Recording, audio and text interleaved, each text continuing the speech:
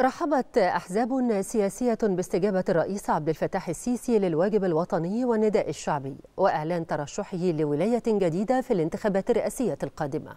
أكدت الأحزاب أن ترشح الرئيس السيسي يعد رسالة طمأنة لملايين المصريين لاستكمال مسيرة التنمية والبناء التي انطلقت في البلاد منذ توليه مهام الحكم وذلك عقب ثورة الثلاثين من يونيو المجيدة.